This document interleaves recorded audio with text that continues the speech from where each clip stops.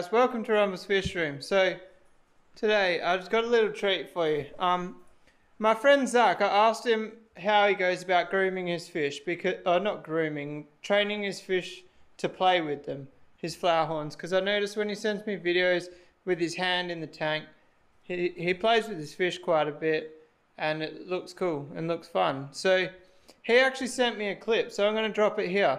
Now keep in mind he's not a vlogger. Um, but I think it's really cool video. Um, so here it goes.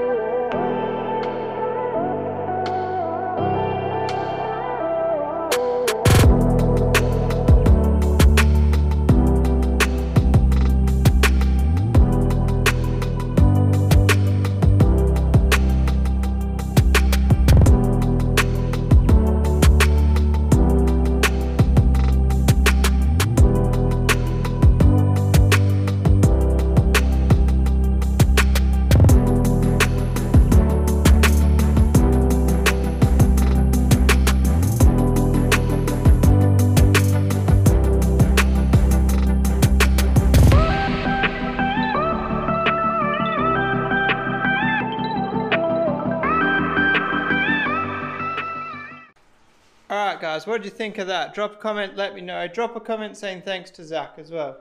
Um, so, this is going to be a bits and pieces video. Uh, first thing I need to show you guys is my light fell down. Alright, so for those of you who haven't seen, I put this light up with these new stainless steel strands, but I didn't have the clips to clip the cable. Well, now I've got the proper clips, so we can put these on. So it doesn't have to. It's at the moment it's resting on a box, on a on a diagonal. So let's fix that.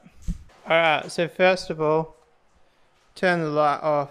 Hang on, we've got to turn some light on so we can see.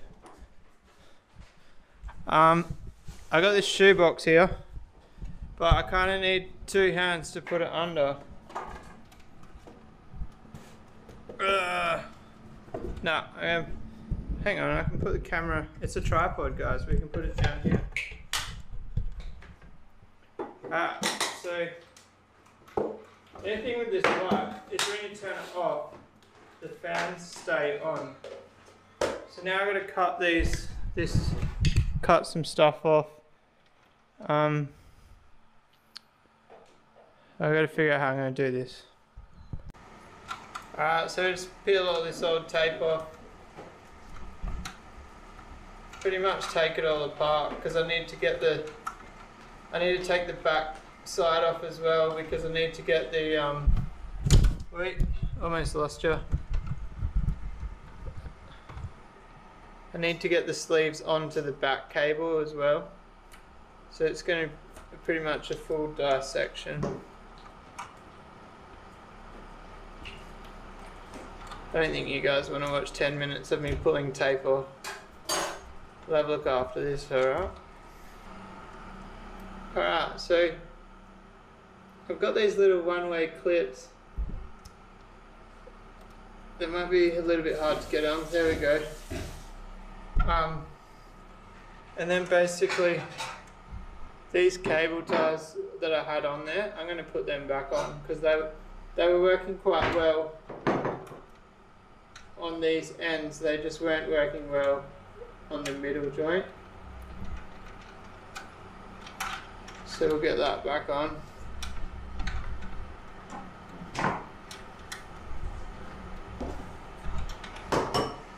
So that's ready to go now. I'll just do the other side. So now I take the shoebox out.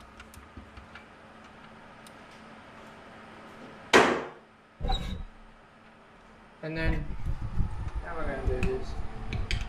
I'll do start with one hand and the camera in my hand.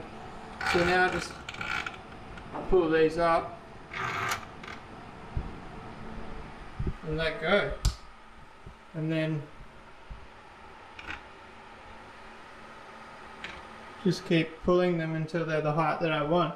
And as they go up, they can't go back down. I'm not, as I said,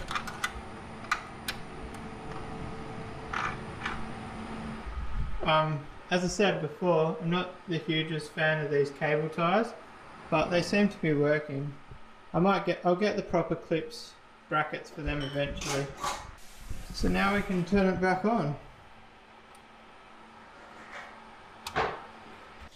Something about being suspended over a fish tank just seems so cool to me, like having nothing touching the tank. Um, obviously I got the plant wall behind it, so it kind of disguises it a bit, but if I was ever to take the plant wall off, it would look wicked, but I don't know. Maybe one day I'll get rid of the plant wall, but at the moment I still like it. Who knows? Decisions, decisions. Anyway, let's go in the fish room. I want to show you something quickly. We can cruise past the pond on the way to the fish room. Um, the water level's really low. I'm not sure if it's got a leak or whether my auto top-ups is broken. I did buy like the cheapest of all um, tap solenoids at the big green shed, so there's a good chance that the solenoid kicked the bucket with the bit of rain we've had recently. It might have got wet inside, but it still looks good. The water's really low, but fish are happy. Yeah, fishy, fishy, fishy. Yeah, fishy, fishy, fishy. Yeah, fishy, fishy, fishy. Did you hear that? Did you hear that? Uh, probably not. The the koi just slammed into the gla glass. Um, I've just been painting up my pit bike frame. For anybody that doesn't know, I made a. Did I tell you guys? I don't know. I made a um, tow hitch carrier with uh, bird shit welds, but it's all good. I I don't trust my welding very much, so you'll see I actually checked out the steel and over overlapped it all. So even if my weld's crack, it's like sitting on the tube still. But anyway, it should it should hold up.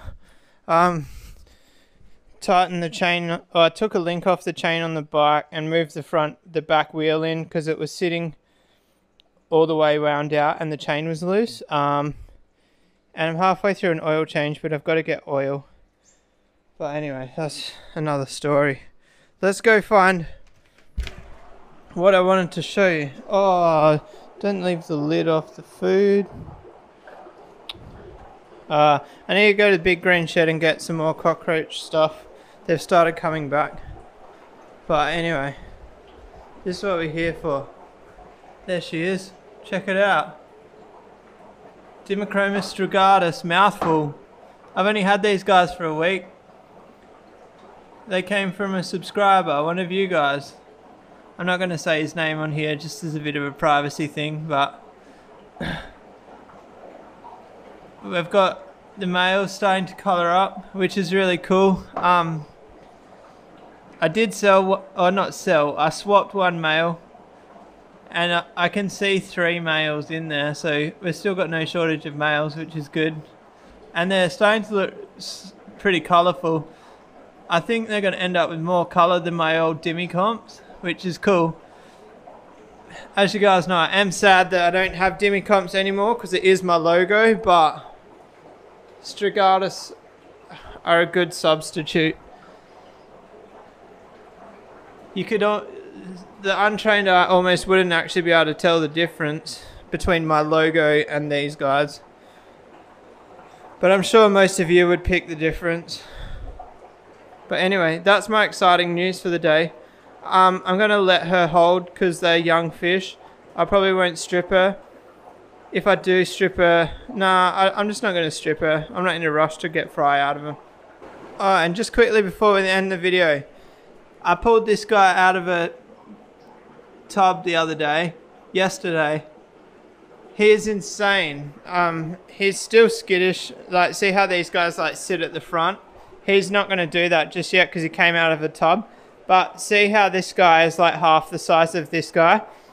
This guy is more developed than this guy. So he's a smaller fish. Um, they're brothers, so he's younger, but he's, he's insane. He's the best fish I've bred. But best flowerhorn I have personally bred, I reckon. Easy. Um, these are all nice, but this one, it's a, like I said, it, it's younger, or it's the same age. It's less. It's less developed, so it's it's not the runt of the litter. It's like middle, and Brett and Zac always told me the best flower horns come from the middle of the batch, not the runts, but not the fast growers. And I definitely think that's true because a couple of the ones that have really grown fast have been pretty crappy. Um, I culled one yesterday out of the IBC and it was a bit bigger than this guy here. And it was the ugliest flower horn I've ever bred, I reckon. I know I shouldn't say that, but man, it was ugly. But yeah, that I've got my money on this guy right here. I might even move him over so he's got the bigger bay.